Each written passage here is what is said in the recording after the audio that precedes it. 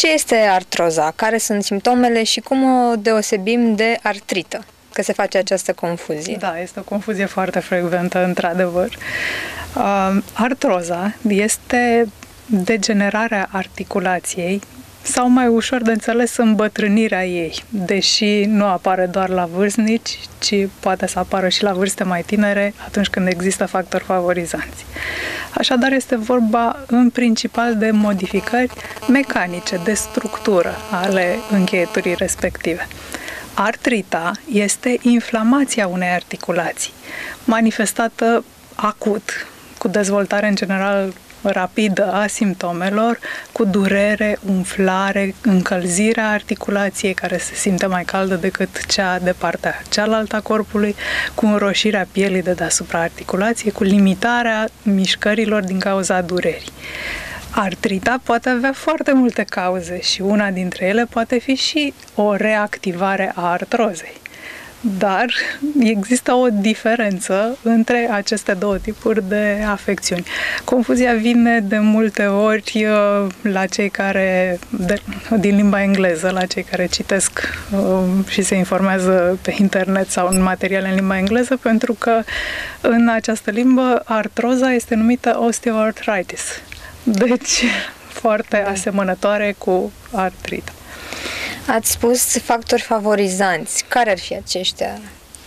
Uh, Mai ales cum, spuneam, cum spuneam, artroza era multă vreme considerată doar apanajul vârstnicilor, dar, de fapt, artroza primară, cea care nu are altă cauză decât îmbătrânirea țesuturilor, apare la vârstnici. Pe când, la vârstele mai tinere, pot să intervină o mulțime de factori favorizanți care să ducă la o degradare mai precoce a articulației, cum ar fi traumatismele asupra unei articulații, solicitările repetitive timp îndelungat, cum sunt în anumite meserii în care se lucrează cu vibrații, lovituri sau mișcări mereu, mereu repetate la nivelul unor articulații. Un exemplu bine cunoscut uh, pentru noi toți sunt modificările ce apar la nivelul încheieturii mâinilor la cei care lucrează mult la computer, de exemplu.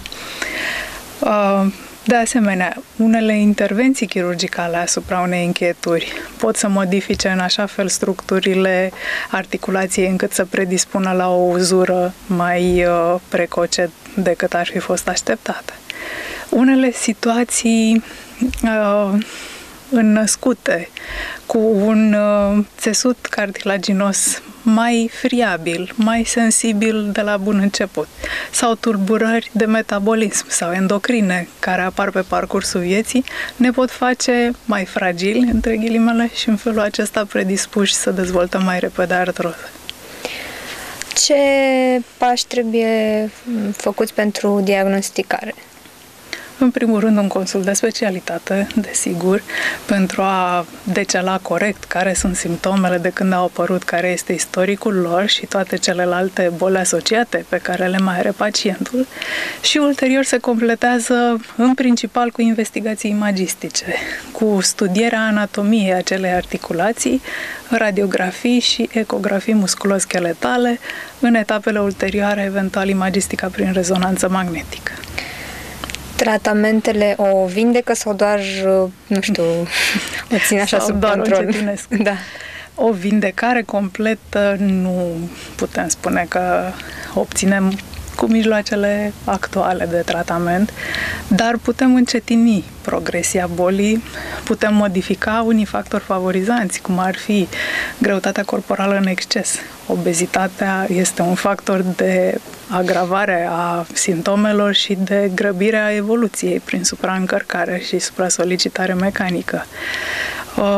Uh, un mod de viață sănătos, cu exerciții fizice efectuate măcar de două, trei ori pe săptămână și nu vorbesc aici de un sport intensiv.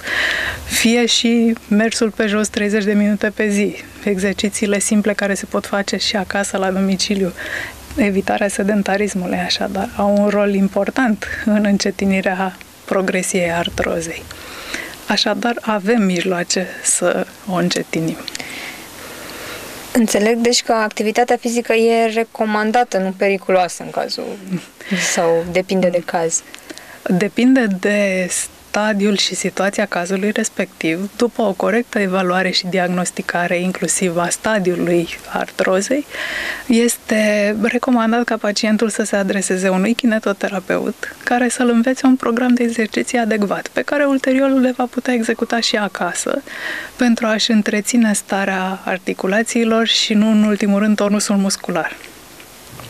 Există remedii naturiste Așa cum tot circulă da. pe internet. Da, există nenumărate substanțe și extracte naturale studiate pentru artroză.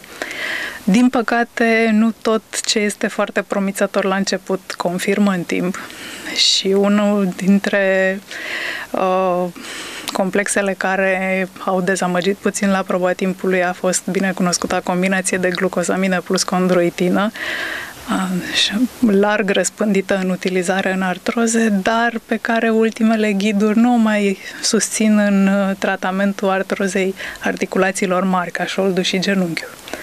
Și rămâne a-și dovedi în continuare beneficiu mai mult pe articulațiile mici. Um, în schimb, mai promițătoare și cu mai bune rezultate sunt unele extracte de avocado și soia și alte substanțe, într-adevăr, extractul de ghimbir care conține niște salicilați naturali, deci un fel de antiinflamator. Există și soluții naturiste, dar din nou adecvate de la caz la caz, pentru că în funcție de patologia pacientului pot exista contraindicații, chiar dacă e vorba, cum să spune, de un produs de la plafar, cum, uh-huh. cum spun pacienții, care n-ar avea cum să-ți facă rău. Totuși, este bine să ceară sfatul medicului înainte de a achiziționa și a utiliza un produs. Cum o prevenim? Cum spuneam, în primul rând, un mod de viață sănătos de la început, cu menținerea greutății corporale normale, cu evitarea sedentarismului, cu evitarea traumatismelor prin cădere în măsura posibilităților, desigur. Așa.